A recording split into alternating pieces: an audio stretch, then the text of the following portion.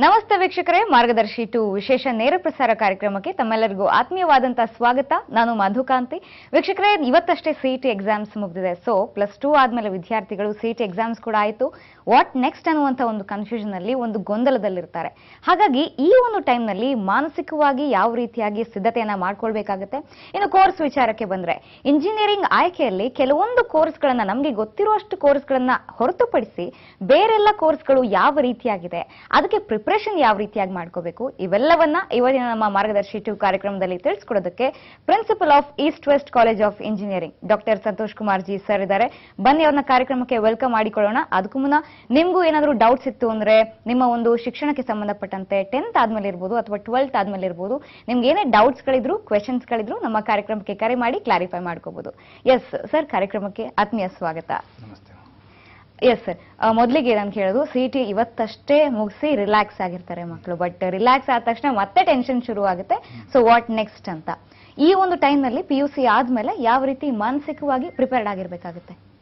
So first of all I like to congratulate K E that Karnataka education system C ಟಿನ conduct ಮಾಡಿದ್ದಾರೆ. ಎರಡು ವರ್ಷದಿಂದ ಮಕ್ಕಳು pandemic situation ಇಂದ ಆಚೆ ಬಂದು ಸಿ ಟಿ ಎಕ್ಸಾಮ್ ಬರ್ತಿದ್ದಾರೆ so I like to congratulate all the P U colleges as well as K E A to conduct this exams.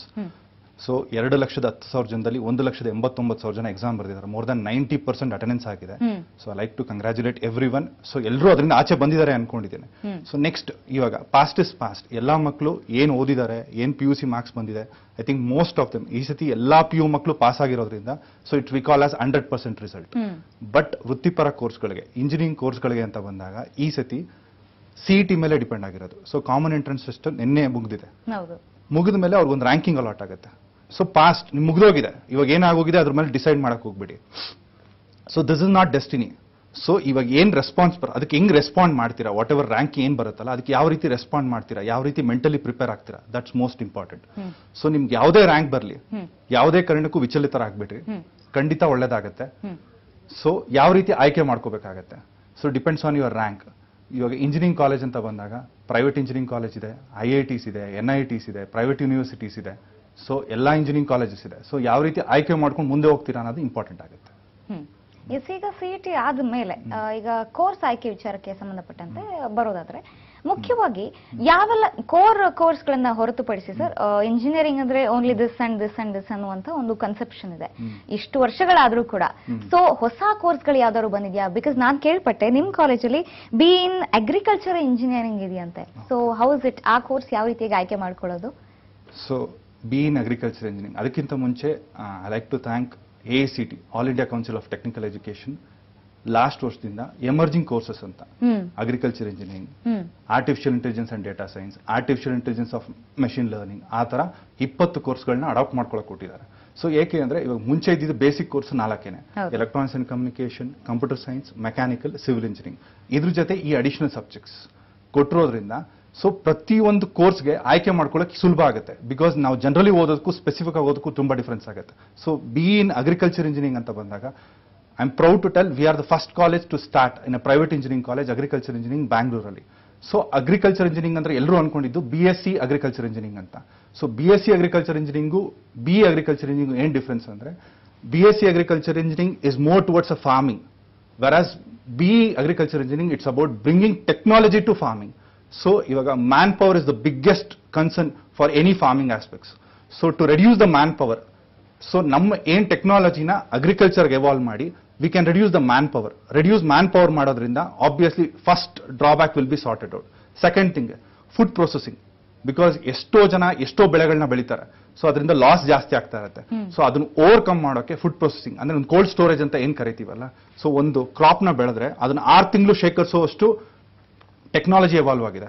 So very minimal people are working with respect to agriculture because that is a future ಪ್ರತಿಯೊಬ್ಬ ಮನುಷ್ಯ ಏನೇ ಮಾಡಲಿ ಮಾಡೋದು ಊಟಕ್ಕೋಸ್ಕರನೇ. So ಆ ವಿಚಾರವಾಗಿ it's a greatest boost so I thank the A C T all India council of technication supporting for it yes sir ನೀವು more than ten international journals journals ಅನ್ನ ತಗೊಂಡಿದ್ದೀರಾ? ಜೊತೆಗೆ you have thirteen years of experience in engineering field so aeronautical engineering ಸಂಬಂಧಪಟ್ಟಂತೆ we have only few colleges in Karnataka ಅಷ್ಟಾಗಿ ತುಂಬಾ ಒಂದು stress ಕೊಡೋದಿಲ್ಲ ಈ ಒಂದು ಕೋರ್ಸ್ಗೆ ಸಂಬಂಧಪಟ್ಟಂತೆ. So what is aeronautical engineering basically actually aeronautical engineering for which the base is mechanical engineering hmm, hmm, so ಈ aviation industry there are three aspects aeronautical aerospace engineering aircraft maintenance engineer ಈ ಮೂರ್ ಕೋರ್ಸ್ಗಳಿದೆ ಮೂರ್ course ಅಲ್ಲೂ it's purely design of aircraft course ತುಂಬಾ ಜನ ಅನ್ಕೊಳ್ಳೋದು aeronautical engineering ಅಂದ್ರೆ I am become a pilot ಅಂತ. So pilot is very much different from aeronautical engineers so aeronautical engineers ಆಗಬೇಕು ಅಂತ ಯಾರು visionary ಇಟ್ಕೊಂಡಿದ್ದಾರೋ they are able to design the aircrafts. Aircrafts ಅಂತ ಬಂದಾಗ ಏರೋ ಡೈನಮಿಸಮ್ ಅಂತ ಬರುತ್ತೆ. ಸೊ ಅದರಲ್ಲಿ ಎರಡು ಕನ್ಫ್ಯೂಷನ್ ಇದೆ. ಏರೋನಾಟಿಕಲ್ ಇಂಜಿನಿಯರ್ಗೂ aerospace ಇಂಜಿನಿಯರ್ಗೂ aerospace engineering is all about above the sky level aeronautical engineering is about below sky level so above sky level ಅಂತ ಏನು ಬಂದಾಗ ರಾಕೆಟ್ ಸೈನ್ಸ್ ಸ್ಯಾಟಲೈಟ್ಸ್ ಅದ್ರ ಬಗ್ಗೆ launching how they are going to design those aspects aeronautical engineers ಅಂತ ಬಂದಾಗ design of aircrafts so it has biggest boost especially in public sector as well as private sector public sector ಅಂತ ಬಂದಾಗ DRDO ISRO H L N L ಎಲ್ಲಾ ಕಡೆ opportunity ಇರುತ್ತೆ. Private sector ಕೂಡ Boeing Airbus G K aerospace P three aerospace there are N number of private companies which are come forward ತುಂಬಾ ಜನ ಅನ್ಕೊಳ್ಳೋದು aeronautical means public sector ಅಂದ್ರೆ government ಅಲ್ಲಿ ಮಾತ್ರ ಆಪರ್ಚುನಿಟಿ ಇದೆ. ಆಪರ್ಚುನಿಟೀಸ್ ತುಂಬಾ ಲಿಮಿಟೆಡ್ ಇದೆ ಅಂತ. It's very false information today ನಿಮ್ಗೆ ಗೊತ್ತಿರಬಹುದು ಪ್ರತಿಯೊಂದು ಡ್ರೋನ್ ಟೆಕ್ನಾಲಜಿ ಮೇಲೆ ಎವಾಲ್ವ್ ಆಗ್ತಾ ಇದೆ. Still there is a lot of permission which has to be given but coming years ಅಲ್ಲಿ ಯಾವ್ದು ಎಮರ್ಜಿಂಗ್ ಬ್ರಾಂಚಸ್ ಇದೆಯಲ್ಲ ಆರ್ಟಿಫಿಷಿಯಲ್ ಇಂಟೆಲಿಜೆನ್ಸ್ ಡೇಟಾ ಸೈನ್ಸ್ ಇರ್ಬೋದು ಅಗ್ರಿಕಲ್ಚರ್ ಇಂಜಿನಿಯರಿಂಗ್ ಇರ್ಬೋದು ಏರೋನಾಟಿಕಲ್ ಇಂಜಿನಿಯರಿಂಗ್ ಇರ್ಬೋದು. ಸೊ ಇದೇನಂದ್ರೆ ನಾವು ಜನರಲಿ ಓದ್ಕೊಂಡೋಗಿ ಲಾಸ್ಟ್ ಅಲ್ಲಿ ಡಿಸೈಡ್ ಮಾಡೋದಕ್ಕಿಂತ ಪಿ ಯು ಆದ ತಕ್ಷಣ ಒಂದ್ ಮಗು ಇವಾಗಲೇ ಡಿಸೈಡ್ ಮಾಡ್ಕೊಳ್ಳೋದು ನಾನು ಇದನ್ನೇ ಮಾಡ್ತೀನಿ. ಸೊ ಅದ್ರಲ್ಲಿ ಅಚೀವ್ ಮಾಡ್ತೀವಿ. ಎಸ್ ಸರ್ ಏರೋನಾಟಿಕಲ್ ಇಂಜಿನಿಯರಿಂಗ್ ಬಗ್ಗೆ ಇನ್ನಷ್ಟು ಇನ್ಫಾರ್ಮೇಶನ್ ತಗೊಳ್ಳೋದಿದೆ ಒಬ್ರು ಕಾಲರ್ ಇದ್ದಾರೆ ತಗೊಂಡ್ಬಿಡೋಣ. ಸದಾಶಿವ ಅಂತ ಬೆಂಗಳೂರಿಂದ. ಹಲೋ ನಮಸ್ತೆ. ಹಲೋ ಹಲೋ ನಮಸ್ತೆ. ಹಲೋ ಹಲೋ ನಮಸ್ತೆ ಮೇಡಮ್ ಹಲೋ ನಮಸ್ತೆ ಸರ್ ಹೇಳಿ ಸರ್ ಏನ್ ಕ್ವೆಶನ್ ಇತ್ತು? ಏನ್ ಕೇಳ್ಬೇಕಿತ್ತು? ಏನಿಲ್ಲಮ್ಮ ನಮ್ಮ ಹುಡುಗ ಇವಾಗ ಸೆಕೆಂಡ್ ಇಯರ್ ಸೀಟ್ ಬರ್ದವ್ರೆ. ಓಕೆ ಇವಾಗ ನಿಮ್ ಕಾಲೇಜಲ್ಲಿ ಇಂಜಿನಿಯರಿಂಗ್ ಓದ್ಬೇಕಾದ್ರೆ ಪರ್ಸೆಂಟೇಜ್ ಏನು ಕಮ್ಮಿ ಸೆವೆಂಟಿ ಸೆವೆನ್ ಇದೆ ಸೆಕೆಂಡ್ ಇಯರ್ ಅಲ್ಲಿ. ಹೇಳಿ ಸರ್ ಹೇಳಿ ಸರ್ ಹೇಳಿ ಸರ್ ಸರ್ ನಮಸ್ತೆ ಸರ್ ನಮಸ್ತೆ ಸರ್ ನಮಸ್ತೆ. ಇವಾಗ ನಮ್ಮ ಹುಡುಗ ಮಲ್ಲಿಕಾರ್ಜುನ್ ಅಂತ. ಓಕೆ ನಮ್ಮ ಮಗ ಇವಾಗ ಸಿಇಟಿ ಎಕ್ಸಾಮ್ ಬರ್ದವ್ರೆ. ಓಕೆ ಸೆವೆಂಟಿ ಸೆವೆನ್ ಇದೆ ಅಂದ್ರೆ ಸೆಕೆಂಡ್ ಇಯರ್ ಅಲ್ಲಿ. ಓಕೆ ಸಿಇಟಿ ಎಕ್ಸಾಮ್ ಬರ್ತಿದಾರಾ ಸರ್? ಏನ್ ಮಾಡ್ಬೇಕಂತ ನಮಗೂ ಅಷ್ಟೊಂದು ಐಡಿಯಾ ಇಲ್ಲ. ನಾವು ಓದಿಲ್ಲ. ನಾವು civil ಅಲ್ಲ ತೊಂದರೆ ಇಲ್ಲ ಸರ್. ನೀವು ಓದಿರೋದು ಇಂಪಾರ್ಟೆಂಟ್ ಆಗಲ್ಲ ಅಲ್ಲಿ. ಇವಾಗ ನಿಮ್ಮ ಮಗು ಸೆವೆಂಟಿ ಸೆವೆನ್ ಪರ್ಸೆಂಟ್ ತೆಗ್ದಿದೆ. ಸೊ ನಿಮ್ಗೆ ಗೊತ್ತಿರ್ಬೋದು. ಯಾವುದೇ ವೃತ್ತಿಪರ ಕೋರ್ಸ್ ಹೋಗ್ಬೇಕು ಅಂದಾಗ P U C marks matter ಆಗಲ್ಲ. ಸೊ ಅಲ್ಲಿ ಮಾರ್ಕ್ಸ್ ಆಗದೆ ಸಿಇಟಿ ಮಾರ್ಕ್ಸ್ ಇನ್ನು ಸೊ ಇನ್ನು ಇಪ್ಪತ್ತು ದಿವಸದಲ್ಲಿ ನಮ್ಮ Karnataka government CET result announce ಆಗುತ್ತೆ. ಅದರಲ್ಲಿ ಒಂದು ರ್ಯಾಂಕಿಂಗ್ ಅಂತ ಅನೌನ್ಸ್ ಆಗುತ್ತೆ. ರ್ಯಾಂಕಿಂಗ್ ಇವಾಗ ಎರಡು ಲಕ್ಷನ ಬರ್ದಿದ್ದಾರೆ ಅಂದ್ರೆ ಎರಡು ಲಕ್ಷ ರ್ಯಾಂಕಿಂಗು ಅನೌನ್ಸ್ ಆಗುತ್ತೆ. ಆ ರ್ಯಾಂಕಿಂಗ್ ಬೇಸ್ ಮೇಲೆ ನೀವು ಯಾವ ಕಾಲೇಜ್ನ ಚೂಸ್ ಮಾಡ್ಬೇಕಾಗತ್ತೆ. ಸೊ ನಿಮ್ ಮಗನ ಆಯ್ಕೆ ಏನು ಅನ್ನೋದು ಇಂಪಾರ್ಟೆಂಟ್ ಆಗುತ್ತೆ. ಅವ್ನು ಇಂಜಿನಿಯರಿಂಗ್ ಹೋಗ್ತಾನ ಮೆಡಿಕಲ್ ಹೋಗ್ತಾನ? ಸೊ ಮೆಡಿಕಲ್ ಫೀಲ್ಡ್ ಅಲ್ಲೂ ಮೆಡಿಕಲ್ ಅಂದ್ರೆ ಬರೀ ಎಂ ಬಿ ಬಿ ಎಸ್ ಅಲ್ಲ ಸರ್ ಮೆಡಿಕಲ್ ಫೀಲ್ಡ್ ಕೂಡ ಪ್ಯಾರಾಮೆಡಿಕಲ್ ಕೋರ್ಸಸ್ ಇದೆ. ನರ್ಸಿಂಗ್ ಇರ್ಬೋದು ಫಾರ್ಮಸಿ ಇರ್ಬೋದು ಡೆಂಟಲ್ ಸೈನ್ಸ್ ಇರ್ಬೋದು ವೆಟರ್ನರಿ ಸೈನ್ಸ್ ಇರ್ಬೋದು ಅಗ್ರಿಕಲ್ಚರ್ ಸೈನ್ಸ್ ಇರ್ಬೋದು, ಜೊತೆಗೆ ಎಂ ಬಿ ಬಿ ಎಸ್ ಇರುತ್ತೆ. ಇಂಜಿನಿಯರಿಂಗ್ ಅಂತ ಬಂದಾಗ ವೇರಿಯಸ್ ಕೋರ್ಸ್ ಇದೆ sir electronics mechanical civil electrical engineering ಅಂತ. ಸೊ ಫಸ್ಟ್ ನಿಮ್ಮ ಮಗನ ಆಯ್ಕೆ ಏನು ಅಂತ ತಿಳ್ಕೊಳ್ಳಿ. ಇಂಜಿನಿಯರಿಂಗ್ ಮಾಡಿಸ್ಬೇಕು ಅನ್ಕೊಂಡಿದ್ರೆ ಮೆಡಿಕಲ್ ಮಾಡಿಸ್ಬೇಕು ಅನ್ಕೊಂಡಿದ್ರ ಸರ್ ನಮಸ್ತೆ. Engineering sir engineering so engineering ಅಲ್ಲಿ. ಇವಾಗ ನಾನು ಇಂಜಿನಿಯರಿಂಗ್ ಅಂತ ಸೇರಿಸಬೇಕು ಅನ್ಕೊಂಡಿದ್ದಾಗ ಸೊ ನಿಮ್ದು ಯಾವ ಊರು ಸರ್ ನಮಗೆ Gulbarga Sedam taluk sir so Gulbarga. So ನೀವಾಗ ಅಕಸ್ಮಾತ್ ನೀವು ಇಂಜಿನಿಯರಿಂಗ್ ಸೇರಿಸಬೇಕು ಅನ್ಕೊಂಡಿದ್ದೀರಿ ಆ ಮಗು ಸ್ಟ್ರೆಂತ್ ಏನು ಅಂತ ತಿಳ್ಕೊಳ್ಳಿ.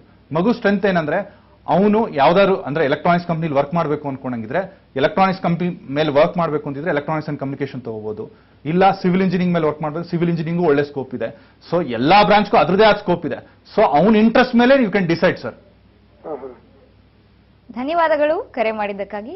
ಎಸ್ ಇನ್ನು ವೀಕ್ಷಕರೇ ನಿಮಗೆ ಇದೇ ರೀತಿಯಾದ ಏನಾದರೂ ಡೌಟ್ಸ್ ಇದ್ರೆ ಶಿಕ್ಷಣಕ್ಕೆ ಸಂಬಂಧಪಟ್ಟಂತೆ ಅಥವಾ ಟೆಂತ್ ಆದ್ಮೇಲೆ ಟ್ವೆಲ್ತ್ ಆದ್ಮೇಲೆ ಯಾವ ರೀತಿ ಕೋರ್ಸ್ಗಳನ್ನು ಆಯ್ಕೆ ಮಾಡಬೇಕು ಅನ್ನುವಂಥ ಡೌಟ್ ಇದ್ರೆ ನಮ್ಮ ಮಾರ್ಗದರ್ಶಿ ಟು ಕಾರ್ಯಕ್ರಮ ಪ್ರತಿದಿನ ಒಂದು ಇಪ್ಪತ್ತೆಂಟಕ್ಕೆ ಪ್ರಸಾರವಾಗುತ್ತೆ. ಕರ್ನಾಟಕದ ಪ್ರತಿಷ್ಠಿತ ಕಾಲೇಜಿನ ಪ್ರಿನ್ಸಿಪಲ್ಸ್ ನಮ್ಮ ಜೊತೆಗಿರ್ತಾರೆ ಪ್ರತಿದಿನ. ಹಾಗೆ ನೀವು ಕೂಡ ನಮ್ಮ ಕಾರ್ಯಕ್ರಮಕ್ಕೆ ಕರೆ ಮಾಡಿ ನಿಮ್ಮ ಡೌಟ್ಸ್ಗಳನ್ನು ಕ್ಲಾರಿಫೈ ಮಾಡ್ಕೋಬಹುದು ಎಸ್ ಸರ್ ಈ ರೀತಿಯಾದ ಒಂದು ಡೌಟ್ಸ್ ನಾನು ಇದಕ್ಕೆ ಒಂಚೂರು ಆ್ಯಡ್ ಆನ್ ಮಾಡ್ಬಿಡ್ತೀನಿ. ಸೊ ಎಷ್ಟೊಂದು ಸ್ಟೂಡೆಂಟ್ಸ್ಗಳಿಗೆ ಬ್ಯಾಕ್ ಗ್ರೌಂಡ್ ಇರೋದಿಲ್ಲ ಇಂಜಿನಿಯರ್ಸ್ ಬ್ಯಾಕ್ ಗ್ರೌಂಡ್ ಇರೋದಿಲ್ಲ ಸೊ ಅಂತ ಸ್ಟೂಡೆಂಟ್ಸ್ ಯಾವ ರೀತಿಯಾಗಿ ಕೋರ್ಸ್ಗಳನ್ನ ಆಯ್ಕೆ ಮಾಡುವಾಗ ಹೋಮ್ವರ್ಕ್ ಮಾಡಬೇಕು?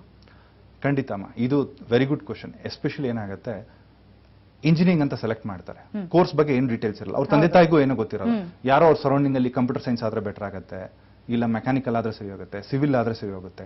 ಆ ರೀತಿ ಅದ್ರ ರೀತಿ ಗೈಡೆನ್ಸ್ ಮಾಡ್ತಾರೆ. ಅದ್ರ ಮೇಲೆ ಹೋಮ್ ವರ್ಕ್ ಮಾಡ್ಕೋಬೇಕು ಅಂದಾಗ ಸೊ ಎಸ್ಪೆಷಲಿ ಇವಾಗಿನ ಸ್ಕೂಲಿಂಗ್ ಎಜುಕೇಶನ್ ತುಂಬಾ ಚೆನ್ನಾಗಿದೆ. ಆ P U C faculties hundred percent effort ಹಾಕಿ ಆ ಮಕ್ಕಳಿಗೆ ಗೈಡ್ ಮಾಡಿರ್ತಾರೆ. ಸೊ ಆ ಡಿಪೆಂಡ್ಸ್ ಆ ಮಕ್ಕಳಿಗೆ ಸ್ಟ್ರೆಂತ್ ಏನಿದೆ? So strength is most important strength ಅಂದ್ರೆ ಅವ್ರ area of interest so area of interest ಮೇಲೆ ಡಿಸೈಡ್ ಮಾಡ್ಕೊಂಡು they have to choose their particular branch so ನೀವು ಯಾವ ಡಿಗ್ರಿ ಮಾಡ್ತೀರಾ ಅದು ಇಂಪಾರ್ಟೆಂಟ್ ಅಲ್ಲ. ಎಷ್ಟು ಇಂಟ್ರೆಸ್ಟ್ ಇಂದ ಅದನ್ನ ಮಾಡ್ತೀರಾ ಅಂತ. ಸೊ ಪ್ರತಿ ಒಂದು ಇಂಜಿನಿಯರಿಂಗ್ ಬ್ರಾಂಚ್ಗೂ ಅದ್ರದೇ ಆದ ಸ್ಕೋಪ್ ಇದೆ. ಇವಾಗ ನೀವು ಏರೋನಾಟಿಕಲ್ ಮಾಡಿದ ತಕ್ಷಣ you are not a superstitious ಅದೇ ರೀತಿ ಅಗ್ರಿಕಲ್ಚರ್ ಮಾಡಿದ ತಕ್ಷಣ ನೀವೇನೋ ಆಗ್ತೀರಾ ಅನ್ನೋದಲ್ಲ. ನೀವು ಯಾವುದೇ ಒಂದು ಕೋರ್ಸ್ ತಗೊಳ್ಳಿ. ಒಂದು ಜನರಲ್ ಬಿ ಎ ಡಿಗ್ರಿ ತಗೊಂಡ್ರು ಅಷ್ಟೇ ಕೂಡ ನೀವು ಎಷ್ಟು ಇನ್ವಾಲ್ವ್ ಆಗಿ ಆ ಕೋರ್ಸ್ನ ನ ತಗೊಂತೀನಿ ಅನ್ನೋದ್ರ ಮೇಲೆ ನಿಮ್ ಸಕ್ಸಸ್ ಅದ್ರ ಮೇಲೆ ಇರುತ್ತೆ. ಟ್ರೂ ಎಸ್ ಸರ್ ಮತ್ತೊಬ್ರು ಕಾಲರ್ ಇದ್ದಾರೆ. ರೋಚನ್ ನಾಯಕ್ ಅಂತ ಉತ್ತರ ಕನ್ನಡದಿಂದ. ಹಲೋ ನಮಸ್ತೆ. ನಮಸ್ತೆ ಮೇಡಮ್ ಎಸ್ ಸರ್ ಏನ್ ಕ್ವೆಶನ್ ಇದೆ? ಕೇಳಿ ಸರ್ ಸರ್ ನಮಸ್ತೆ ಸರ್. ಹಾ ನಮಸ್ತೆ ಸರ್ ನಮಸ್ತೆ. ಸರ್ ನನ್ನ ಹೆಸರು ರೋಚನ್ ಅಂತ. ನಾನು ಇವಾಗ first first year P U ದಲ್ಲಿದ್ದೀನಿ. Okay. Sir ನನ್ ಕ್ವಶನ್ ಏನಂದ್ರೆ ಸರ್ ಇವಾಗ ಫಸ್ಟ್ ಪಿ ಯು ಅಲ್ಲಿ sir P C M C S ತಗೊಂಡಿದ್ದೀನಿ ನಾನು. Okay P C M C ಹೌದು P C M C. Sir ಇವಾಗ ನನ್ನ ಕ್ವಶನ್ ಏನಂದ್ರೆ ಸರ್ ನೆಕ್ಸ್ಟ್ ಸಿ ಟಿ ಮತ್ತೆ ಈಗ ಸೆಕೆಂಡ್ ಇಯರ್ ಬೋರ್ಡ್ಗೆ ಸರ್ ಹೇಗ್ ಪ್ರಿಪೇರ್ ಆಗ್ಬೇಕು ಅಂತ ಅಂದ್ರೆ ಎಷ್ಟು ಅವರ್ಸ್ ಡೈಲಿ ಓದ್ಬೇಕು ಮತ್ತೆ ಯಾವ ತರ ಕಾನ್ಸಂಟ್ರೇಟ್ ಮಾಡಬೇಕು ಅಂತ ಸರ್ ಪ್ರತಿ ಒಂದು ಸಬ್ಜೆಕ್ಟ್ಗೂ ಖಂಡಿತಪ್ಪ ಒಳ್ಳೆ ಕ್ವಶನ್ ಇವ್ ನೀವು ಫಸ್ಟ್ ಪಿ ಯು ಸಿಲಿ ಇದ್ದೀರಾ? ಪಿ ಸಿ ಎಂ ಸಿ ತಗೊಂಡಿದ್ದೀರಾ? ಪಿ ಸಿ ಎಂ ಸಿ ಅಂದ್ರೆ already made up your mind for computer science engineering that doesn't mean that you to take computer science P C M B P C M C P C M E ಯಾವುದೇ branch ತಗೊಂಡಿದ್ರು ಕೂಡ engineering ಅಲ್ಲಿ ನಿಮ್ದೇ ಆದ ಆಯ್ಕೆ ಮಾಡ್ಕೋಬಹುದು ಯಾವ branch ಕೂಡ ಹೋಗ್ಬೋದು. ನೀವು ಕಂಪ್ಯೂಟರ್ ಸೈನ್ಸ್ ಆಗ್ಲೇ ಆಯ್ಕೆ ಮಾಡ್ಕೊಂಡಿರೋದ್ರಿಂದ your first primary requirement is it's not about clearing your second P U C exams because ನಿಮ್ಗೆ ಗೊತ್ತಿರ್ಬೋದು ಯಾವುದೇ ವೃತ್ತಿಪರ ಕೋರ್ಸ್ ಹೋಗ್ಬೇಕು ಅಂದಾಗ ನೀವು ಯಾವ ಇನ್ಸ್ಟಿಟ್ಯೂಷನ್ ಜಾಯ್ನ್ ಆಗಬೇಕು ಅನ್ಕೊಂಡಿದ್ದೀರಲ್ಲ, ಅದಕ್ಕೆ ಮೂರು ಎಕ್ಸಾಮ್ಸ್ ಇದೆ. ಒಂದು JEE okay joint entrance examination so if you want to join for any I I T N I ಟಿಗೆ ಜಾಯ್ನ್ ಆಗಬೇಕು ಅಂದ್ರೆ it's mandatory you have to clear that exams so ನಾವು Karnataka state ಅಲ್ಲಿ ನೀವು ಯಾವ್ದಾರ ಜಾಯ್ನ್ ಆಗ್ತೀರಿ ಅಂದ್ರೆ ಕಾಮೆಡಿಗೆ ಎಕ್ಸಾಮ್ಸ್ಗಾರ ಹೋಗ್ಬೋದು, ಇಲ್ಲ ಸಿ ಟಿ ಎಕ್ಸಾಮ್ಸ್ಗಾರ ಹೋಗ್ಬೋದು.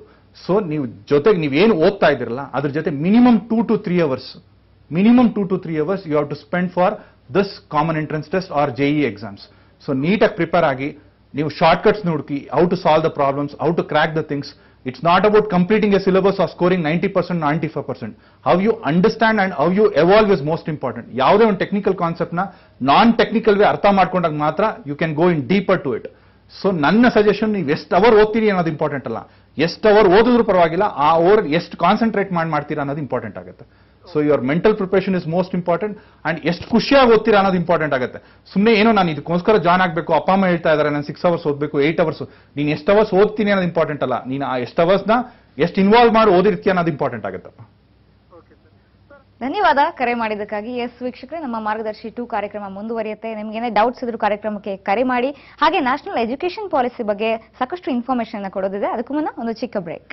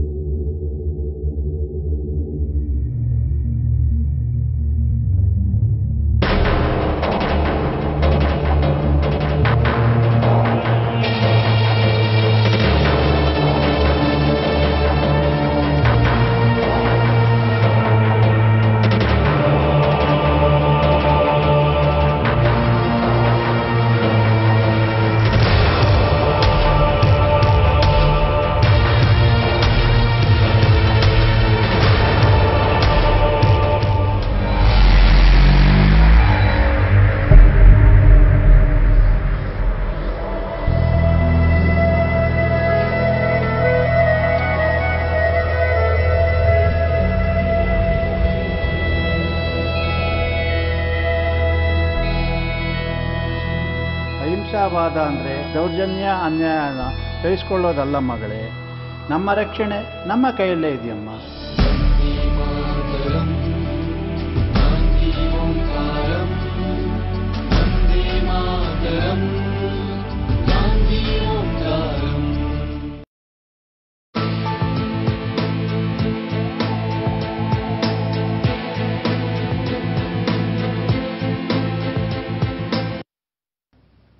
ಬ್ರೇಕ್ನ ಬಳಿಕ ಮಾರ್ಗದರ್ಶಿ ಟು ವಿಶೇಷ ಕಾರ್ಯಕ್ರಮಕ್ಕೆ ಮತ್ತೆ ಸ್ವಾಗತ. ಈಗೊಬ್ರು ಕಾಲರ್ ಇದ್ದಾರೆ. ಜ್ಞಾನಪ್ಪ ಗೌಡ ಅಂತ ದಾಂಡೇಲಿಯಿಂದ. ಹಲೋ ನಮಸ್ತೆ. ಹಾ ನಮಸ್ತೆ ಮೇಡಮ್ ನಮಸ್ತೆ. ತಮ್ಮ ಹೆಸರು? ಹಾ ನಮ್ಮ ಹೆಸರು ಉಮಾ ಅಂತಾರಿ. ಓಕೆ. ಆ, ಹೋದ ವರ್ಷ ನಮ್ಮ ಮಗಂದ ಸೆಕೆಂಡ್ ಇಯರ್ ಮುಗ್ದೈತ್ರಿ. ಸರ್ ಇದೆ ಸರ್ ಇದೆ? ಸರ್ ನಮ್ಮ ಮಗ ಈಗ ನೀಟ್ ಕೋಚಿಂಗ್ ಅಂತ ತಗೊಂಡನ್ರಿ ಈಗ ಒಂದ್ ವರ್ಷ. ಹೋದ ವರ್ಷ ಆಗೈತ್ರಿ ಒಂದು ಸೆಕೆಂಡ್ ಇಯರ್ ಮತ್ತ ಈಗ ಸಿಇಟಿನೂ ಬರೆದಿದ್ದಾನ್ರಿ. ಹೌದಾ? ಓಕೆ. ಈಗ ಹನ್ನೆರಡು ತರಗಿ ನೀಟು ಬರೀತಾನ್ರಿ. ಹ್ಮ್. ಈಗ ಅವಾಗ ಅಗ್ರಿಕಲ್ಚರ್ ಹೋಗ್ಬೇಕಂದ್ರ ಹಾ. ನೀಟ್ ಮೇಲೆ ಹೋಗ್ಬೋದಾ? ಸಿಇಟಿ ಮೇಲೆ ಹೋಗೋದಮ್ಮ. ಅಗ್ರಿಕಲ್ಚರ್ ಇಂಜಿನಿಯರಿಂಗ್ ಸಿಇಟಿ ನೀಟ್ ಅನ್ನೋದು ಬರೀ ಮೆಡಿಕಲ್ ಮಾತ್ರ. ಹಾನ್ರಿ ಸಿಇಟಿ ಬಂದು agriculture engineering B S C agriculture ಹೋಗ್ತೀರಿ ಅಂದ್ರು okay. B in agriculture engineering ಹೋಗ್ತೀರಿ ಅಂದ್ರು ಎರಡಕ್ಕೂ ಸಿಇಟಿ ಆದ್ರೆ ಸಾಕಾಗತ್ತಮ್ಮ. ಸಿಇಟಿ ಒಳ್ಳೆ ರ್ಯಾಂಕಿಂಗ್ ಬರಬೇಕಾಗತ್ತೆ. ಅದ್ರ ಮೇಲೆ ಪಿ ಸಿ ಬಿ ಮೇಲೆ ಮಾರ್ಕ್ಸ್ ಹೋಗುತ್ತೆ. ಅಂದ್ರೆ ಇವಾಗ ನಾಲ್ಕು ಸಬ್ಜೆಕ್ಟ್ ಇದೆ. ಫಿಸಿಕ್ಸ್ ಕೆಮಿಸ್ಟ್ರಿ ಮ್ಯಾಥಮೆಟಿಕ್ಸ್ ಬಯಾಲಜಿ ಅಂತ. ಸೊ ಯಾವಾಗ ಈ ಪ್ಯಾರಾಮೆಡಿಕಲ್ ಕೋರ್ಸ್ ಅಂತ ಬರುತ್ತಲ್ಲ ಅವಾಗ ಫಿಸಿಕ್ಸ್ ಕೆಮಿಸ್ಟ್ರಿ ಬಯಾಲಜಿ ತಗೊಂತಾರೆ. ವೃತ್ತಿಪರ ಕೋರ್ಸ್ ಇಂಜಿನಿಯರಿಂಗ್ ಕೋರ್ಸ್ ಅಂತ ಬಂದಾಗ ಫಿಸಿಕ್ಸ್ ಕೆಮಿಸ್ಟ್ರಿ ಮ್ಯಾಥಮೆಟಿಕ್ಸ್ ತಗೊಂತಾರೆ ಅಮ್ಮ. ಸೊ ಅವ್ನ ರ್ಯಾಂಕಿಂಗ್ ಅಲಾಟ್ ಆಗುತ್ತಲ್ಲ ರ್ಯಾಂಕಿಂಗ್ ಮೇಲೆ ನೀವು ಕಾಲೇಜ್ನ ಆಯ್ಕೆ ಮಾಡ್ಕೋಬೇಕಾಗತ್ತೆ. ಧನ್ಯವಾದ ಕರೆ ಮಾಡಿದಕ್ಕಾಗಿ ಮತ್ತೊಬ್ರು ಕಾಲರ್ ಇದ್ದಾರೆ. ಆರ್ ಸಿ ಹಿರೇಮಠ್ ಅಂತ ಬೆಳಗಾವಿಯಿಂದ. ಹಲೋ ನಮಸ್ತೆ. ನಮಸ್ತೆ ಸರ್ ಮೇಡಮ್. ಎಸ್ ಏನ್ ಕ್ವಶನ್ ಇದೆ ಸರ್? ಕೇಳಿ ಸರ್ ಇದ್ದಾರೆ. ನಾವು ಆರ್ ಸಿ ಹಿರೇಮಠ್ ಅಂತ ಹೇಳಿ ಮೇಡಮ್. ಓಕೆ ಸರ್ ಕೇಳಿ. ಹೇಳಿ ಸರ್ ಎಸ್ ಎಲ್ ಸಿ ಆದ ನಂತರ ಐ ಟಿ ಒಳಗೆ ಒನ್ ಇಯರ್ ಕೋರ್ಸ್ ಯಾವ್ದು ಏನ್ರಿ ಸರ್ ಐ ಟಿ ಇಲ್ಲ ಸರ್ ಐ ಟಿ ಐ ಒಳಗೆ. ಐ ಟಿ ಎಲ್ ಒಂದ್ ಕೋರ್ಸ್ ಇದೆ ಸರ್ ಇವಾಗ ಅಂದ್ರೆ ಏನಾಗಿದೆ ನ್ಯಾಷನಲ್ ಎಜುಕೇಶನ್ ಪಾಲಿಸಿ ಅಂತ ಬಂದ್ರಿಂದ ಟೆಂತ್ ಆದ್ಮೇಲೆ ಅನ್ನೋದಕ್ಕಿಂತ ಟ್ವೆಲ್ತ್ ಆದ್ಮೇಲೆ ಅನ್ನೋದು ಮ್ಯಾಟರ್ ಆಗುತ್ತೆ ಸರ್ ಇವಾಗ ನೀವು ಐ ಟಿ ಐ ಮಾಡ್ಕೊಂಡು ಡಿಪ್ಲೊಮಾ ಮಾಡ್ಕೋಬಹುದಾಗತ್ತೆ ಈಗ one year one year course ಅದು ಯಾವಲ್ರಿ ಸರ್ ಅಲ್ಲ ಒನ್ ಇಯರ್ ಕೋರ್ಸ್ ಅಂತ ಯಾವುದು ಇಲ್ಲ ಸರ್ ಡಿಪ್ಲೊಮಾ ಬಂದು ತ್ರೀ ಇಯರ್ಸ್ ಇದೆ ಐ ಟಿ ಐ ಬಂದು ಟೂ ಇಯರ್ಸ್ ಇದೆ sir G T T C ಅಂತ ಹೇಳಿ ಸರ್ ಹೌದು. ಎಸ್ ಧನ್ಯವಾದ. ಕರೆ ಮಾಡಿದ್ದಕ್ಕಾಗಿ. ಎಸ್ ಸರ್ ನೀವು you are just telling N E P ಅಂತ ನ್ಯಾಷನಲ್ ಎಜುಕೇಶನ್ ಪಾಲಿಸಿ ಬಗ್ಗೆ. ಅದ್ರ ಬಗ್ಗೆ ಸ್ವಲ್ಪ ಸಾಕಷ್ಟು ಗೊಂದಲಗಳಿದೆ. ಅದ್ರ ಬಗ್ಗೆ ತಿಳ್ಕೊಳ್ಳೋಣ. ಮತ್ತೊಬ್ರು ಕಾಲರ್ ಇದ್ದಾರೆ ಹಲೋ ನಮಸ್ತೆ. ಹಲೋ ಗುಡ್ ಆಫ್ಟರ್ನೂನ್ ಮೇಡಮ್ ಎಲ್ಲಿಂದ ಕಾಲ್ ಮಾಡ್ತಿರೋದು? ಮೇಡಮ್ ಬ್ಯಾಂಗ್ಳೂರಿಂದ ಮೇಡಮ್ ಓಕೆ ಏನ್ ಕ್ವೆಶನ್ ಇದೆ? ಸರ್ ಇದ್ದಾರೆ ಕೇಳಿ. ಹೇಳಿ sir sir good afternoon sir good afternoon ಈಗ second P U C okay ಇವಾಗ ಹಾಸ್ಪಿಟಲಿಟಿ ಹಾಸ್ಪಿಟಲಿಟಿ ಫೀಲ್ಡ್ ಹೋಗೋಣ ಅಂತ ಚೂಸ್ ಮಾಡ್ಕೊಳ್ಳೋಣ ಹಾಸ್ಪಿಟಾಲಿಟಿನಾ ಹೌದು ಸರ್ ಹೌದು. ಓಕೆ ಸೊ ಹಾಸ್ಪಿಟಾಲಿಟಿ ಹೋಗ್ತೀರಿ ಅಂದ್ರೆ ಹಾ ಹೇಳಿ ಸರ್ ನಿಮ್ ಮುಗಿಸಿ ಸರ್ ನಿಮ್ಮ ಮಾತು ಮುಗಿಸಿ ಸರ್. ಅದು ಹಾಸ್ಪಿಟಲಿಟಿ ಹಾಸ್ಪಿಟಲಿಟಿ ಫೀಲ್ಡ್ಗೆ ಹೋಗೋಣ ಅಂತ. ಓಕೆ ಅದಕ್ಕೆ ಏನಾದ್ರು ಎಕ್ಸಾಮ್ಸ್ ಎಂಟ್ರೆನ್ಸ್ ಎಕ್ಸಾಮ್ಸ್ ಏನಾದ್ರು ಅಲ್ಲ ಸರ್ ಹಾಸ್ಪಿಟಾಲಿಟಿ ಅಂತ ಬಂದಾಗ ನೀವು ಬಿ ಎಚ್ ಎಂ ಅಂದ್ರೆ bachelor of hotel management so ನೀವು ಆ ಕೋರ್ಸ್ ತಗೊಂಡು ಮುಂದುವರಿಬೇಕಾಗತ್ತೆ. ಓಕೆ ಸೊ ಅದಕ್ಕೆ ಯಾವುದೇ ಎಂಟ್ರೆನ್ಸ್ ಎಕ್ಸಾಮ್ ಅಂತ ಇರಲ್ಲ. So particular. ಕಾಲೇಜ್ಗೆ ಹೋಗಿ ನೀವು ಅಡ್ಮಿಷನ್ ಮಾಡ್ಕೋಬಹುದು ಸರ್ ಓಕೆ ಹೌದಾ? ಸರಿ ಸರ್. ಓಕೆ ಇಂಡಿಯಾದಲ್ಲಿ ಆಪರ್ಚುನಿಟಿ ಇದೆ. ಫಾರಿನ್ ಅಲ್ಲಿ ಜಾಸ್ತಿ ಆಪರ್ಚುನಿಟಿ ಇದೆ ಸರ್ ಬಿ ಎಚ್ ಎಂಗೆ ಅಂದ್ರೆ ಎಜುಕೇಶನ್ ಇಲ್ಲೇ ಇದ್ದು ಫಾರಿನ್ ಅಲ್ಲಿ ಆಪರ್ಚುನಿಟಿ ಸಿಗುತ್ತಾ? ಇಲ್ಲ ಇಲ್ಲ sir you should travel there or ಇಲ್ಲೇ ಎಲ್ಲ ಒಳ್ಳೊಳ್ಳೆ ಕಾಲೇಜ್ಗಳಿದೆ ಸರ್ ಬ್ಯಾಂಗ್ಳೂರ್ ಹೋಟೆಲ್ ಮ್ಯಾನೇಜ್ಮೆಂಟ್ಗೆ ಒಳ್ಳೆ ಸ್ಕೋಪ್ ಇದೆ ಒಳ್ಳೆ ಸ್ಯಾಲರಿ ಇದೆ. So if you are really interested in hotel management you can go it sir yes thank you ಕರೆ ಮಾಡಿದ್ದಕ್ಕಾಗಿ ಇನ್ನು ವೀಕ್ಷಕರು ನೀವು ಕೂಡ ನಮ್ಮ ಕಾರ್ಯಕ್ರಮಕ್ಕೆ ಕಾಲ್ ಮಾಡಬಹುದು ಆ, ಒಂದು ಪಕ್ಷ ಕಾಲ್ ಸಿಕ್ಕಿಲ್ಲ ಅಂತ ಸಂದರ್ಭದಲ್ಲಿ ಪ್ರತಿದಿನ ಒಂದು ಇಪ್ಪತ್ತೆಂಟಕ್ಕೆ ನಮ್ಮ ಮಾರ್ಗದರ್ಶಿ ಟು ಕಾರ್ಯಕ್ರಮ ಪ್ರಸಾರವಾಗುತ್ತೆ. ಮತ್ತೊಬ್ರು ಕಾಲರ್ ಇದ್ದಾರೆ ಸರ್ ತಗೊಂಡ್ಬಿಡೋಣ ರಕ್ಷಾ ಅಂತ ಶಿರ್ಸೆಯಿಂದ. ಹಲೋ ನಮಸ್ತೆ. ಹಲೋ ನಮಸ್ತೆ. ಎಸ್ ಏನ್ ಓದ್ತಿರೋದು? ನಾವು ಪಿ ಯು ಸಿ. ಓಕೆ ಏನ್ ಕ್ವಶನ್ ಇದೆ ಸರ್ ಹತ್ರ ಕೇಳಿ. ಹೇಳಿಮಾ ನೆಕ್ಸ್ಟ್ ಸಿ ಎಂ ಮಾಡ್ಬೇಕಂದ್ರೆ ಏನ್ ಮಾಡ್ಬೇಕು? ಸಿ ಎ ಮಾಡ್ಬೇಕು ಅಂತನಾ? ಹಾ. ನೀವು ಕಾಮರ್ಸ್ ಸ್ಟೂಡೆಂಟಾ ಅಲ್ಲ ಅಲ್ಲ, ಅದೇ ಸೈನ್ಸ್ ತಗೊಂಡು ಸಿ ಎಂ ಮಾಡ್ಲಿಕ್ಕೆ ತಗೋಬಹುದು ತಗೋಬಹುದು ತೊಂದರೆ ಇಲ್ಲ. ಚಾರ್ಟೆಡ್ ಅಕೌಂಟೆಂಟ್ ಕೋರ್ಸ್ ಸೊ ನೀವೇನಂದ್ರೆ ಫೌಂಡೇಶನ್ ಎಕ್ಸಾಮ್ ಅಂತ ಇರುತ್ತಮ್ಮ. ಓಕೆ ಫಸ್ಟ್ ಫೌಂಡೇಶನ್ ಎಕ್ಸಾಮ್ನ ಕ್ಲಿಯರ್ ಮಾಡಬೇಕಾಗುತ್ತೆ. Even though you are not from commerce background ಕೂಡ ನೀವು ಚಾರ್ಟೆಡ್ ಅಕೌಂಟೆಂಟ್ನ ಫೌಂಡೇಶನ್ ಕೋರ್ಸ್ ಕ್ಲಿಯರ್ ಮಾಡಿ ಆಮೇಲೆ ಒಂದು ಮಿಡಲ್ ಕ್ಲೋಸ್ ಇರುತ್ತೆ ಆಮೇಲೆ ಫೈನಲ್ ಎಕ್ಸಾಮ್ಸ್ ಅಂತ ಇರುತ್ತೆ. ಜೊತೆಗೆ ತ್ರೀ ಇಯರ್ಸ್ ಇಂಟರ್ನ್ಶಿಪ್ ಮಾಡಬೇಕಾಗತ್ತೆ ಅಂಡರ್ ಒನ್ ಚಾರ್ಟೆಡ್ ಅಕೌಂಟೆಂಟ್ ಖಂಡಿತ ಒಳ್ಳೆ ಸ್ಕೋಪ್ ಇದೆ ಬಟ್ ಒಂದ್ಸತಿ ನೀವು ಆ ಜರ್ನಿ ಸ್ಟಾರ್ಟ್ ಮಾಡಿದ್ಮೇಲೆ ಇಂಟರ್ಮೀಡಿಯೇಟ್ ಬಿಡಕ್ ಹೋಗ್ಬಿಡಿ ಮಾ ನೀವು ಚಾರ್ಟೆಡ್ ಅಕೌಂಟ್ ಆಗಬೇಕು ಅಂದ್ರೆ just like in I S officer if I want to become I S officer ನಿಮ್ಗೆ ಎಷ್ಟು ಡೆಡಿಕೇಶನ್ ಬೇಕೋ ಅದೇ ರೀತಿ ಒಂದು ಚಾರ್ಟೆಡ್ ಅಕೌಂಟೆಂಟ್ ಆಗಬೇಕು ಅಂದಾಗ ಸೊ ಅದರದೇ ಆದ ನಿಮ್ಮ ಆದ್ಯತೆ ಬೇಕಾಗುತ್ತೆ. ಸೊ ನೀವು ಒಂದ್ಸತಿ ಆ ಕೋರ್ಸ್ನ ಸ್ಟಾರ್ಟ್ ಮಾಡಿದ್ಮೇಲೆ ಇಂಟರ್ಮೀಡಿಯೇಟ್ಲಿ ಶಿಫ್ಟ್ ಮಾಡಕ್ಕೆ ಟ್ರೈ ಮಾಡಬೇಡಿ. ಸೊ ಎಷ್ಟೋ ಜನ ಅನ್ಕೊಂಡ್ತಾರೆ ನಾನು ಇಂಜಿನಿಯರಿಂಗ್ ಮಾಡಬೇಕು, ಇಲ್ಲ ಮೆಡಿಕಲ್ ಮಾಡಬೇಕು, ಆ ಕನ್ಫ್ಯೂಷನ್ ಇರ್ತಾರೆ. ಹೋಗೋದಕ್ಕಿಂತ ಮುಂಚೆ ಹಂಡ್ರೆಡ್ ಟೈಮ್ಸ್ ಯೋಚನೆ ಮಾಡಿ. ತಗೊಂಡ್ಮೇಲೆ it's your journey you to travel with whole heart ಧನ್ಯವಾದ. ಕರೆ ಮಾಡಿದ್ದಕ್ಕಾಗಿ ಮತ್ತೊಬ್ರು ಕಾಲರ್ ಇದ್ದಾರೆ. ರೇಣುಕಾ ಅಂತ ಕೊಪ್ಪಳ ಇಂದ. ಹಲೋ ನಮಸ್ತೆ. ನಮಸ್ತೆ ಮೇಡಮ್ ಎಸ್ ಮ್ಯಾಮ್ ಏನ್ ಕ್ವಶನ್ ಇದೆ? ಈಸ್ಟ್ ವೆಸ್ಟ್ ಕಾಲೇಜ್ನ ಪ್ರಿನ್ಸಿಪಲ್ ನನ್ನ ಹೆಸರು ರೇಣುಕಾ ಅಂತ. ಓಕೆ ಕೊಪ್ಪಳ ಡಿಸ್ಟಿಕ್ ಇಂದ ಮಾತಾಡ್ತಿರೋದು. ನನ್ನ ತಮ್ಮ ರೀಸ್ ಅಂದ್ರೆ ಇವಾಗ ಸೆಕೆಂಡ್ ಪಿ ಯು ಕಂಪ್ಲೀಟ್ ಆಗಿದೆ. ಮೊನ್ನೆ ರೀಸೆಂಟ್ ಆಗಿ ಸಿಇಟಿ ಟಿ ಬರ್ದಿದ್ದಾನೆ. ನೀಟ್ಕೊಂಡು ನೀಟ್ಗೂ ಅಪ್ಲೈ ಮಾಡಿದ್ದಾನೆ ಸರ್ ಅವ್ನ್ಗೆ ಅಂದ್ರೆ ಹಿಂಗೆ ಮೆಡಿಕಲ್ ಫೀಲ್ಡ್ ಅಲ್ಲಿ ಹೋಗ್ಬೇಕಂಬುದು ಬಹಳ ಇದೆ. ಸೊ ಯಾವ ತರ ಚೂಸ್ ಅಂದ್ರೆ ಯಾವ್ದನ್ನ ಚೂಸ್ ಮಾಡ್ಕೋಬೇಕು ಅಂಬುದು ಸ್ವಲ್ಪ ಕನ್ಫ್ಯೂಷನ್ ಅಲ್ಲಿ ಇದ್ದೀವಿ ಓಕೆ ನೀಟ್ ಅಲ್ಲಿ ಯಾವ್ಯಾವ ಬರ್ತಿದಾವೆ ಸರ್ ಅಂದ್ರೆ ನೀಟ್ ಮೆಡಿಕಲ್ ಫೀಲ್ಡ್ಗೆ ಸಪರೇಟ್ ಆಗಿ ನೀಟ್ ನೀಟ್ ಪಾಸ್ ಆದ್ರೇನೆ ಮೆಡಿಕಲ್ ಫೀಲ್ಡ್ ಇದೆಯೋ ಅಥವಾ ಸಿಇಟಿ ಪಾಸ್ ಆದ್ರೆ ಮೆಡಿಕಲ್ ಏನಾದ್ರೂ ಸಿಗ್ತಿಲ್ಲ? ಸಿಇಟಿಗೂ. ಸಿಇಟಿಗೂ ಮೆಡಿಕಲ್ಗೂ ಸಂಬಂಧ ಇಲ್ಲ ಅಮ್ಮ ನೀವು ಮೆಡಿಕಲ್ ಜಾಯ್ನ್ ಆಗಬೇಕು ಅಂದ್ರೆ ನೀಟ್ ಎಕ್ಸಾಮ್ನ ಕ್ಲಿಯರ್ ಮಾಡಬೇಕಾಗತ್ತೆ. ಅದು ಆಲ್ ಇಂಡಿಯಾ ರ್ಯಾಂಕಿಂಗ್ ಸೊ ಆ ರ್ಯಾಂಕ್ ಏನ್ ಅಲಾಟ್ ಆಗುತ್ತೆ ಅದ್ರ ಮೇಲೆ ಎರಡು ಆಸ್ಪೆಕ್ಟ್ ಇದೆ. ಒಂದು ಫ್ರೀ ಸೀಟು ಒಂದು ಪೇಮೆಂಟ್ ಸೀಟ್ ಅಂತ. ನಿಮ್ಗೆ ಅಕಸ್ಮಾತ್ ರ್ಯಾಂಕ್ ಅಲಾಟ್ ಆಗಿ ಗೌರ್ಮೆಂಟ್ ಕಡೆ ಬಿಕಾಸ್ ಮುಂಚೆ ಮೆಡಿಕಲ್ ಕಾಲೇಜಸ್ ತುಂಬಾ ಲಿಮಿಟೆಡ್ ಇತ್ತು. ನೀವು ಮೆಡಿಕಲ್ ತಗೋಬೇಕು ಅಂದ್ರೆ ತುಂಬಾ ಕಷ್ಟ ಆಯ್ತು. ಮುಂಚೆ ಸಿಇಟಿ ಮುಖಾಂತರನೇ ನೀವು ತಗೋಬೋದಿತ್ತು. ಬಸ್ ತ್ರೀ ಇಯರ್ಸ್ ಇಂದ ನೀಟ್ ಇಂಟ್ರೊಡ್ಯೂಸ್ ಮಾಡಿದ್ದಾರೆ. ನೀಟಲ್ಲಿ ಆ ಮಗು ಎಷ್ಟು ಚೆನ್ನಾಗಿ ಎಕ್ಸೆಲ್ ಮಾಡುತ್ತೆ ಏನ್ ರ್ಯಾಂಕ್ ಸ್ಕೋರ್ ಮಾಡುತ್ತೆ ಅದ್ರ ಮೇಲೆ ಅವ್ರು ಮೆಡಿಕಲ್ ಸೀಟ್ ತಗೋಬೋದಮ್ಮ. ಸೊ ಅವ್ನಿಗೆ ಇವಾಗ ಆಸ್ ಆಫ್ ನೌ ನಿಮ್ಮ ಮಗುಗೆ try to concentrate on NEET ಎಷ್ಟು ಸಾಧ್ಯ ಆಗುತ್ತೋ ಅವ್ನು ಎಫರ್ಟ್ ಹಾಕಿ ಎಕ್ಸಾಮ್ ಕ್ಲಿಯರ್ ಮಾಡಕ್ಕೆ ಹೇಳಿ ಒಳ್ಳೆ ರ್ಯಾಂಕಿಂಗ್ ಸ್ಕೋರ್ ಮಾಡಿದ್ರೆ ಖಂಡಿತ ಫ್ರೀ ಸೀಟ್ ಅಲಾಟ್ ಆಗುತ್ತೆ. ಧನ್ಯವಾದ ಕರೆ ಮಾಡಿದ್ದಕ್ಕಾಗಿ ಮತ್ತೊಬ್ರು ಕಾಲರ್ ಇದ್ದಾರೆ ಶಿವಕುಮಾರ್ ಅಂತ ಅನೇಕಲಿಂದ ಹಲೋ ನಮಸ್ತೆ. ನಮಸ್ತೆ. ಎಸ್ ಸರ್ ಏನ್ ಕ್ವೆಶನ್ ಇದೆ? ಕೇಳಿ ಸರ್ ನನ್ ಕಾಲೇಜ್ ಬಗ್ಗೆ ಅಲ್ಲ ನಾನು ಎಸ್ ಎಸ್ ಎಲ್ ಸಿ ಬಗ್ಗೆ ಕೇಳಬೇಕು ಅಂತಿದ್ದೀನಿ. ಓಕೆ ಕೇಳಿ ಸರ್ ಇದ್ದಾರೆ ಕೇಳಿ. ಹೇಳಿ ಹೇಳಿ ಸರ್ ಎಸ್ ಎಸ್ ಎಲ್ ಸಿಯಲ್ಲಿ languages important sir actually score ಮಾಡಿ sir languages is not languages ಅನ್ನೋದು ಬರೀ ಎಸ್ ಎಲ್ ಸಿ ಅಲ್ಲ ಸರ್ ವೇರ್ ಎವರ್ ನಿಮ್ಮ ಜರ್ನಿ ಇರೋವರೆಗೂ ಲ್ಯಾಂಗ್ವೇಜ್ ತುಂಬಾ ಇಂಪಾರ್ಟೆಂಟ್ ಆಗುತ್ತೆ. ಮಾರ್ಕ್ಸ್ ಓರಿಯೆಂಟೆಡ್ ಅಲ್ಲ. ಸೊ ಲ್ಯಾಂಗ್ವೇಜ್ ಕನ್ನಡ ಇರ್ಬೋದು ಇಂಗ್ಲಿಷ್ ಇರೋದು, ಆ ಭಾಷೆಗೆ ಅದರದೇ ಆದ್ಯತೆ ಇದೆ. ಈ ಸತಿ ನಿಮ್ಗೆ ಗೊತ್ತಿರಬಹುದು ನಮ್ಮ ಕರ್ನಾಟಕ ಗೌರ್ಮೆಂಟ್ ಕನ್ನಡದಲ್ಲಿ ಇಂಜಿನಿಯರಿಂಗ್ ಕೋರ್ಸ್ ಸ್ಟಾರ್ಟ್ ಮಾಡಿದೆ. ಹೈರ್ ಇಂಜಿನಿಯರಿಂಗ್ ಕಾಲೇಜ್ ಆದ್ಯತೆ ಕೊಟ್ಟಿದೆ. ಸೊ ಇವಾಗ ಚೈನಾ ಚೈನಾದಲ್ಲಿ ಇಂಗ್ಲೀಷೇ ಯೂಸ್ ಮಾಡಲ್ಲ but they are technology very forward German ಕೂಡ ಜರ್ಮನ್ ಲ್ಯಾಂಗ್ವೇಜ್ ಅಲ್ಲೇ they are moving forward so language ಅನ್ನೋದು ಇಂಗ್ಲೀಷ್ಗೆ ಸೀಮಿತ ಆಗಿಲ್ಲ. ಸೊ ನಿಮ್ದೇ ಆದ ನಿಮ್ಮ ಭಾಷೆಯಲ್ಲಿ ನೀವು ಥಿಂಕಿಂಗ್ ಲೆವೆಲ್ ತುಂಬಾ ಇನ್ಕ್ರೀಸ್ ಆಗುತ್ತೆ. ಸೊ ಆದ್ರಿಂದ language is very very much important to have a better communication ಅಂತ. ಧನ್ಯವಾದ. ಕರೆ ಮಾಡಿದ್ದಕ್ಕಾಗಿ. Yes sir so many calls ಮತ್ತೊಬ್ರು ಕಾಲರ್ ಇದ್ದಾರೆ. ಮಲ್ಲಯ್ಯ ಅಂತ. ಹಲೋ ನಮಸ್ತೆ. Good morning ma'am good afternoon ma'am ಶುಭ ಮಧ್ಯಾಹ್ನ. ಹೇಳಿ ಎಲ್ಲಿಂದ ಕಾಲ್ ಮಾಡ್ತಿರೋದು? ಬಿಜಾಪುರದಿಂದ ಮೇಡಮ್ ಓಕೆ ಏನ್ ಕ್ವೆಶನ್ ಇದೆ ಸರ್ ಹತ್ರ ಕೇಳಿ. ಹೇಳಿ ಸರ್ ಹೇಳಿ ಸರ್ ಹೇಳಿ ಸರ್ ಆರ್ಕಿಟೆಕ್ಚರಿಂಗ್ ಮಾಡ್ಬೇಕಂದ್ರೆ ಯಾವ ಕೋರ್ಸ್ ಮಾಡೋದು ಟೆಂತ್ ಇದೆ ಸರ್ ಈಗ? ಟೆಂತ್ ಇದ್ರೆ first second P U C clear ಮಾಡಪ್ಪ. Okay second P U C clear ಆದ್ಮೇಲೆ ನಾಟಾ ಎಕ್ಸಾಮ್ಸ್ ಇರುತ್ತೆ. ಸೊ ಸಿಇಟಿನೂ ಇಲ್ಲ ನೀಟು ಇಲ್ಲ. ನಾಟಾ ಎಕ್ಸಾಮ್ಸ್ ಇರುತ್ತೆ. ನಾಟಾ ಎಕ್ಸಾಮ್ ಕ್ಲಿಯರ್ ಮಾಡಿ you can go for architecture ಓಕೆನಾ ಬಟ್ ಆರ್ಕಿಟೆಕ್ಚರ್ ಕೋರ್ಸ್ ಅಂತ ಬಂದಾಗ there is a lot of civil engineering ಆರ್ಕಿಟೆಕ್ಚರ್ಗೂ ತುಂಬಾ ಡಿಫ್ರೆನ್ಸ್ ಇದೆ. ಇವಾಗ ಆಸ್ ಆಫ್ ನೌ ಆರ್ಕಿಟೆಕ್ಚರ್ಗೆ ತುಂಬಾ ಭೂಮಿ ಇದೆ. ಸೊ ನಿಮ್ಮ thinking level should be very much improve ಯಾಕಂದ್ರೆ construction is different architect is different sir ಒಂದು ಕನ್ಸ್ಟ್ರಕ್ಷನ್ ಈ ಸರ್ ನಾನು ಸೈನಿಕ್ ಸ್ಕೂಲ್ ಅಲ್ಲಿ ಇದ್ದೆ ಸರ್ ಹಾ ಹೇಳಿ. ಅದು ಅಲ್ಲಿ ಸೈನ್ಸ್ ಅಷ್ಟೇ ಇದೆ ಸರ್ ಮತ್ತೆ ಮುಂದಕ್ಕೆ ಹೋಗ್ಬೇಕಂದ್ರೆ ಹೆಂಗ್ ಸರ್ ಕೋರ್ಸಿಗೆ ಹೋಗ್ಬೇಕಂದ್ರೆ ಸರ್ ಅರ್ಥ ಆಗ್ಲಿಲ್ಲ. ನೀವು ಸೈನ್ಸ್ ನೀವು ಸೆಕೆಂಡ್ ಪಿ ಯು ಸಿ ಸೈನ್ಸೇ ಮಾಡೋದಪ್ಪ. ನೀವು ಎಸ್ ಎಲ್ ಸಿ ಆದ್ಮೇಲೆ second P U C science ಮುಗಿಸಿ ಸೈನ್ಸ್ ಮುಗಿದ ಮೇಲೆ ನಾಟಾ ಎಕ್ಸಾಮ್ ಕ್ಲಿಯರ್ ಮಾಡಿ ಆಮೇಲೆ you go for architecture yes ಧನ್ಯವಾದ ಕರೆ ಮಾಡಿದ್ದಕ್ಕಾಗಿ. ಎಸ್ ಸರ್ ನೀವು one of the youngest principals of Bengaluru ಅದು ಇಂಜಿನಿಯರಿಂಗ್ ಕಾಲೇಜಸ್ ಅಲ್ಲಿ. ಸೊ ಹಾಗಾಗಿ ನಿಮ್ ಕೇಳೋದು ಈ ಒಂದು ನ್ಯಾಷನಲ್ ಎಜುಕೇಶನ್ ಪಾಲಿಸಿ ಬಗ್ಗೆ ಸಾಕಷ್ಟು ಪರ ವಿರೋಧಗಳು ನಾವು ಕೇಳಿ ಬರ್ತಾ ಇದೆ. So what is the use of this ವಿದ್ಯಾರ್ಥಿಗಳಿಗಿರ್ಬೋದು ಅಥವಾ ಟೀಚರ್ಸ್ಗಿರ್ಬೋದು ಏನ್ ಇದರಿಂದ ಯೂಸ್ ಅಂತ? So national education policy. ಮೂವತ್ತ್ ನಾಲ್ಕು ವರ್ಷ ಆದ್ಮೇಲೆ ಎಜುಕೇಷನ್ ಪಾಲಿಸಿ ರಿಫಾರ್ಮ್ ಆಗ್ತಾ ಇದೆ. ಸಾವಿರದ ಒಂಬೈನೂರ ಎಂಬತ್ತಾರರಲ್ಲಿ first national policy of education ಅಂತ ಬಂತು. ಅವತ್ತಿನ ಆದ್ಯತೆ ಏನಿತ್ತು ಅಂದ್ರೆ ಎಲ್ರಿಗೂ ಎಜುಕೇಶನ್ ಸಿಗಬೇಕು ಅಂತ. ಅದಾದ್ಮೇಲೆ ನೈನ್ಟಿ ಟೂ ಅಲ್ಲಿ ಸ್ವಲ್ಪ ರಿಫಾರ್ಮ್ ಆಯ್ತು. ಟೂ ತೌಸಂಡ್ ನೈನ್ ಅಲ್ಲಿ ರೈಟ್ ಟು ಎಜುಕೇಶನ್ ಅಂತ ಎಲ್ಲಾ ಮಕ್ಕಳಿಗೂ ಎಜುಕೇಶನ್ ಸಿಗಬೇಕು ಅಂತ ಬಂತು. ಬಟ್ ಇವತ್ತಿನ ಎರಡ್ ಸಾವಿರದ ಇಪ್ಪತ್ತೊಂದು ಈ ಏನು ಯುಗ ಅಂತಿರಲ್ಲ ಇದರಲ್ಲಿ most important quality education is important. So ಆ ಕ್ವಾಲಿಟಿ ಎಜುಕೇಶನ್ ತರಕ್ಕೋಸ್ಕರ ಈ ಎನ್ ಇ ಪಿ ಅಂತ ತಂದಿದ್ದಾರೆ. ಸೊ ನ್ಯಾಷನಲ್ ಎಜುಕೇಶನ್ ಪಾಲಿಸಿಗೆ ಗೌರ್ಮೆಂಟ್ ರೆಡಿ ಇದೆ. How the institution are the public is ready ಅನ್ನೋದು ಮೋಸ್ಟ್ ಇಂಪಾರ್ಟೆಂಟ್ ಆಗುತ್ತೆ.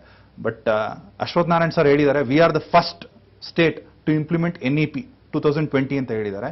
ಸೊ ನ್ಯಾಷನಲ್ ಎಜುಕೇಷನ್ ಪಾಲಿಸಿಯಿಂದ ತುಂಬಾ ಅಡ್ವಾಂಟೇಜ್ ಇದೆ ಸ್ಟೂಡೆಂಟ್ಸ್ಗೆ ಬಟ್ ಅದೇ ರೀತಿ ಸ್ಟೂಡೆಂಟ್ಸ್ ಕೂಡ ಮೆಂಟಲಿ ಪ್ರಿಪೇರ್ ಆಗಬೇಕಾಗುತ್ತೆ. ಸೊ ಇವಾಗ ಯಾವ ರೀತಿ ಅದನ್ನ ರೆಡಿ ಮಾಡಿದ್ದಾರೆ ಅಂದ್ರೆ it is about broad field multidisciplinary field ಅಂತಾರೆ. ಮಲ್ಟಿ ಡಿಸಿಪ್ಲಿನರಿ ಫೀಲ್ಡ್ ಅಂದ್ರೆ ಯಾರೇ ಒಬ್ಬ ಹುಡುಗ ಎಜುಕೇಶನ್ ಬರ್ತಾನೆ ಇವಾಗ ಲೆಟ್ವಿಟೆಕ್ ಒಬ್ಬ ಸಿವಿಲ್ ಇಂಜಿನಿಯರ್ ಅವನಿಗೆ ಕನ್ಸ್ಟ್ರಕ್ಷನ್ ಆಫ್ ಡ್ಯಾಮ್ ಬಗ್ಗೆ ಮಾತ್ರ ಗೊತ್ತಿರುತ್ತೆ. But social and environmental cause ಬಗ್ಗೆ ಗೊತ್ತಿರಲ್ಲ. ಇವಾಗ ಅವ್ನು ಬರೀ ಕನ್ಸ್ಟ್ರಕ್ಷನ್ ಬಗ್ಗೆ ತಿಳ್ಕೊಂಡ್ರೆ ಏನು ಮ್ಯಾಟರ್ ಆಗಲ್ಲ. ಸೊ ಅದ್ರ ಬಗ್ಗೆ ಅವ್ನಿಗೆ ಹಿಸ್ಟ್ರಿ ಬಗ್ಗೆ ಗೊತ್ತಿರಬೇಕು ಜಿಯೋಗ್ರಫಿ ಬಗ್ಗೆ ಗೊತ್ತಿರಬೇಕು. ಆ ಗೊತ್ತಿದ್ದಾಗ ಮಾತ್ರ ಈ can do a better aspect so ಇವ್ ಆದ್ರಿಂದನೇ I I T Kanpur I I T ಡೆಲ್ಲಿಲಿ I I T ಕಾರ್ಪುರಲ್ಲಿ ಮೆಡಿಕಲ್ ಸೈನ್ಸ್ನ ಇಂಪ್ಲಿಮೆಂಟ್ ಮಾಡಿದ್ದಾರೆ ಇಂಜಿನಿಯರಿಂಗ್ ಕಾಲೇಜಲ್ಲಿ ಅದೇ ರೀತಿ ಐ ಐ ಟಿ ಡೆಲ್ಲಿ ಕೂಡ ದೇ ಇಂಪ್ಲಿಮೆಂಟೆಡ್ ಹ್ಯೂಮ್ಯಾನಿಟೀಸ್ ಸೊ ಆದ್ರಿಂದ ಒಂದು ಇಂಜಿನಿಯರಿಂಗ್ ಕೋರ್ಸಲ್ಲಿ ಎಲ್ಲ ಅಂದ್ರೆ ಬ್ರಾಡ್ ಸ್ಪೆಕ್ಟ್ರಮ್ ಅಲ್ಲಿ visibility ತರಕೋಸ್ಕರ they are doing it it's very good cause two thousand ತರ್ಟಿಲಿ ಖಂಡಿತ there is a biggest reform ಆಗತ್ತೆ ಅಂತ ನನ್ನ ಅನಿಸಿಕೆ ಓಕೆ ಸರ್ ಲಾಸ್ಟ್ ಅಲ್ಲಿ ಸೊ ಈ ಒಂದು ನ್ಯಾಷನಲ್ ಎಜುಕೇಶನ್ ಪಾಲಿಸಿ ಇರ್ಬೋದು ಅಥವಾ ಯಾರೆಲ್ಲ ಈಗಷ್ಟೇ ಸಿ ಟಿ ಮುಗಿಸಿದಾರೆ ಇರ್ಬೋದು. ನಿಮ್ಮ ಒಂದು ಲಾಸ್ಟ್ ಮೆಸೇಜ್ ಸ್ಟೂಡೆಂಟ್ಸ್ಗೆ ಈ ಪ್ಯಾಂಡಮಿಕ್ ಸಿಚುಯೇಷನ್ ಟಚ್ವುಡ್ ಇಲ್ಲಿಗೆ ಎಂಡ್ ಆಗುತ್ತೆ ಅನ್ಕೊಳ್ಳೋಣ. ಎಂಡ್ ಆಗ್ಲಿಲ್ಲ ಅಂದ್ರೂ ಕೂಡ ದಯವಿಟ್ಟು mentally prepare for everything so ಯಾವುದೋ ಆಗದೇ ಇರುವಂತದ್ದೇನಲ್ಲ ಇವಾಗ ಎಸ್ಪೆಷಲಿ ಪಿ ಯು ಸಿ ಮಕ್ಕಳು ಸಿ ಇ ಟಿ ಬರ್ತಿದ್ದೀರಾ ಒಂದು ರ್ಯಾಂಕ್ ಅಲಾಟ್ ಆಗುತ್ತೆ. ರ್ಯಾಂಕ್ ಅಲಾಟ್ ಆದ್ಮೇಲೆ ಒಂದು ಕಾಲೇಜ್ ಅಲಾಟ್ ಆಗುತ್ತೆ. ನನಗೆ ಈ ಕಾಲೇಜ್ ಸಿಗಲಿಲ್ಲ, ಈ ಕೋರ್ಸ್ ಸಿಗಲಿಲ್ಲ ಅನ್ನೋದು ಕೊರಗೋದ್ಕಿಂತ ಯಾವ ಕೋರ್ಸ್ ಸಿಗುತ್ತೋ, ಯಾವ ಕಾಲೇಜ್ ಸಿಗುತ್ತೋ, ಅದನ್ನ ಮೊದಲ ಆದ್ಯತೆ ತಗೊಳ್ಳಿ. ತಗೊಂಡು ಆ ನಾಲ್ಕು ವರ್ಷ ಡಿಗ್ರಿನ ತುಂಬಾ ಜನ ಇವಾಗ ಇಂಜಿನಿಯರಿಂಗ್ ಜಾಯ್ನ್ ಆಗ್ಬೇಕಾದ್ರೆ ಇಲ್ಲ, ಯಾವುದೇ ಒಂದು ಜಾಯ್ನ್ ಆಗ್ಬೇಕಾದ್ರೂ ಪ್ಲೇಸ್ಮೆಂಟ್ ಇದೆಯಾ ಅಂತ ಕೇಳ್ತಾರೆ. ಅವ್ರು ಇನ್ನ ಜರ್ನಿನೇ ಸ್ಟಾರ್ಟ್ ಮಾಡಿಲ್ಲ ಅವ್ರೇನು ಕಂಟೆಂಟೇ ತಿಳ್ಕೊಂಡಿಲ್ಲ. ಸೊ ಆಗ್ಲೇ ಪ್ಲೇಸ್ಮೆಂಟ್ ಬಗ್ಗೆ ಚಿಂತೆ ಇದೆ. ಖಂಡಿತ ಯಾವುದೇ ಒಂದು ಪೇರೆಂಟ್ಗೆ ಫಸ್ಟ್ ಕನ್ಸರ್ನ್ ಏನಂತ ಇರುತ್ತೆ ನನ್ನ ಮಗನ್ ಒಂದು ಒಳ್ಳೆ ಕೆಲಸ ಕೆಲಸ ಸಿಗಬೇಕು ಅಂತ. ಟೆನ್ ಇಯರ್ಸ್ ಬಿಫೋರ್ ಒಬ್ಬ ಇಂಜಿನಿಯರ್ ಅಂದ್ರೆ ಸಾಕು. ನನ್ನ ಮಗ ಇಂಜಿನಿಯರ್ ಅಂದ್ರೆ ಪ್ರೌಡ್ ಫೀಲಿಂಗ್ ಇತ್ತು. ಬಟ್ ಇವತ್ತು ಆ ಥರ ಇಲ್ಲ. ನನ್ನ ಮಗ ಇಂಜಿನಿಯರು ಈ ಕಂಪ್ನಿಲಿ ಕೆಲಸ ಮಾಡ್ತಾ ಇದ್ದಾನೆ, ಈ ಸ್ಥಾನದಲ್ಲಿ ಏನಾದ್ರೆ ಮೋಸ್ಟ್ ಇಂಪಾರ್ಟೆಂಟ್ ಆಗುತ್ತೆ. ಸೊ ಆದ್ರಿಂದ ನಾಲ್ಕು ವರ್ಷ ಏನು ಓದ್ತಿರಲ್ಲ it's not only for degree case ದಯವಿಟ್ಟು ಕಷ್ಟಪಟ್ಟು ಮಾಡಿ ಖಂಡಿತ ಆ ಎಫರ್ಟ್ಗೆ ನಿಮಗೆ ರೆಸ್ಪಾನ್ಸ್ ಇರುತ್ತೆ. ಎಸ್ ಸರ್ ಇವತ್ತಿನ ನಮ್ಮ ಕಾರ್ಯಕ್ರಮದಲ್ಲಿ ಬಂದು ಸಾಕಷ್ಟು ಡೌಟ್ಸ್ನ ಕ್ಲಾರಿಫೈ ಮಾಡಿದ್ರಿ. ಜೊತೆಗೆ ಎನ್ ಪಿ ಬಗ್ಗೆ ನಮಗೆ ಸಾಕಷ್ಟು ನಾಲೆಜ್ ಅನ್ನ ಕೊಟ್ರಿ. ಹಾಗೆ ಮೆಂಟಲಿ ಯಾವ ರೀತಿಯಾಗಿ ಮಕ್ಕಳು ಪ್ರಿಪೇರ್ ಆಗಿರ್ಬೇಕಂತ ಸಾಕಷ್ಟು ಇನ್ಫಾರ್ಮೇಶನ್ ಕೊಟ್ರಿ. ಥ್ಯಾಂಕ್ ಯು ಸರ್ ಧನ್ಯವಾದ. ಥ್ಯಾಂಕ್ ಯು ಎಸ್ ವೀಕ್ಷಕರೇ, ಇನ್ನು ನಮ್ಮ ಮಾರ್ಗದರ್ಶಿ ಟು ಕಾರ್ಯಕ್ರಮ ಪ್ರತಿದಿನ ಒಂದು ಇಪ್ಪತ್ತೆಂಟಕ್ಕೆ ಪ್ರಸಾರವಾಗುತ್ತೆ. ಶಿಕ್ಷಣಕ್ಕೆ ಸಂಬಂಧಪಟ್ಟಂತೆ ನಿಮಗೆ ಏನೇ ಡೌಟ್ಸ್ ಇದ್ರೂ ನಮ್ಮ ಕಾರ್ಯಕ್ರಮಕ್ಕೆ ಕರೆ ಮಾಡಬಹುದು ಇನ್ನು ನಮ್ಮ ಕಾರ್ಯಕ್ರಮದಲ್ಲಿ ಶಿಕ್ಷಣ ಕ್ಷೇತ್ರದ ತಜ್ಞರಿರ್ತಾರೆ, ಹಾಗೆ ಪ್ರತಿಷ್ಠಿತ ಇಂಜಿನಿಯರಿಂಗ್ ಹಾಗೆ ಕಾಲೇಜಸ್ನ ಪ್ರಿನ್ಸಿಪಲ್ಸ್ ನಮ್ಮ ಜೊತೆ ಇರ್ತಾರೆ. ನೀವು ಮಾತಾಡಿ, ನಿಮ್ಮ ಡೌಟ್ಸ್ ಅನ್ನ ಕ್ಲಾರಿಫೈ ಮಾಡ್ಕೋಬಹುದು ಇದಾಗಿತ್ತು ಈ ಹೊತ್ತಿನ ವಿಶೇಷ ಮಾರ್ಗದರ್ಶಿ ಟು ಕಾರ್ಯಕ್ರಮ. ನಿಖರ ಸುದ್ದಿಗಾಗಿ ನೋಡ್ತಾ ಇರಿ ಪ್ರಜಾ ಟಿವಿ.